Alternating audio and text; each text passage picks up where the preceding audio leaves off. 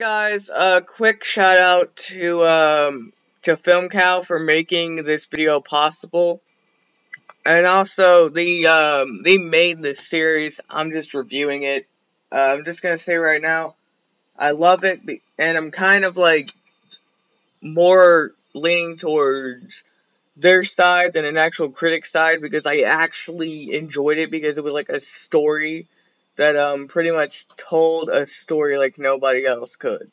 Because I've actually been through somewhat of the same situation as they did.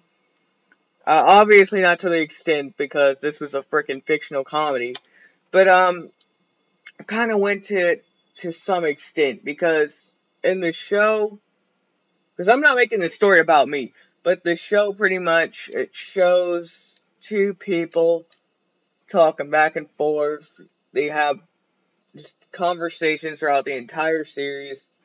Um, people fucking die. Nukes are let off.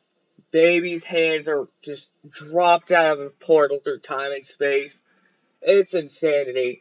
But the main thing that I want to focus on is the overall plot. Because, yes, it's a comedy. Yes, it wouldn't make sense if you just watched one episode and thought, what the fuck is this? But if you actually watch all of the episodes, you'll understand that it's actually meant to be how they made it because they're making like um they made like a series that was like a story kind of where this friendship gets ruined and he can't do shit to fix the friendship. You can't. And it's the same with this story. They show straight away that he just couldn't fix it. He actually couldn't.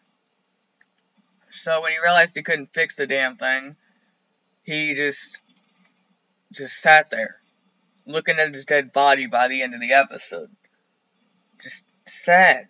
Because he lost his best friend because he fucking fucked it up and didn't get the chance to fix it. Because he was just too much of an asshole to realize he was wrong and he needed to fix it. But he didn't know how to fix it in time, so it just ended like that. And it's kind of a sad story, but the story is realistic, honestly. And I like this story because how real it is. Other than that, uh, hope you guys uh, enjoyed so far because. Well, this guy walked in. Okay. So I went up to him. Yes. And I, uh, I stabbed him 37 times in the chest. I thought you were a woman. Why would you think that? Mostly the hat. Are you sure? Of course I'm sure. Well, if you'll excuse me, I have some pictures to delete from my computer. Carl, stop avoiding.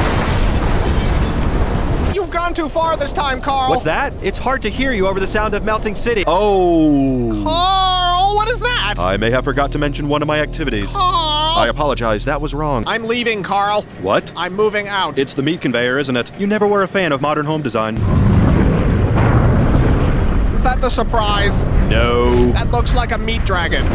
Did you finish your meat dragon, Carl? Maybe. I've got nowhere to go. I burned my house down once it had enough swans inside, and I used up the rest of my savings buying the swans. And whose fault is that, Carl? Society. Society and the swans. Carl, please.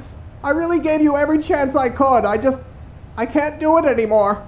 I'm coming in, Paul. I'm sorry if this violates your restraining order, but it's important. Paul? Paul? Oh. I guess you're gone.